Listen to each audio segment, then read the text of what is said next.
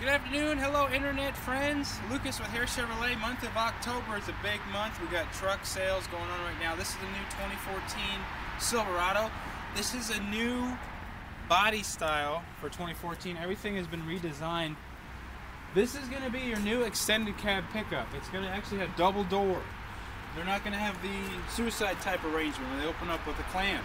You're going to have this other door this is going to open up and actually the legroom is more than the previous 13 model of the extended cab. So you have this opening door, the window still goes down. Still have a one-touch seat. Push it down.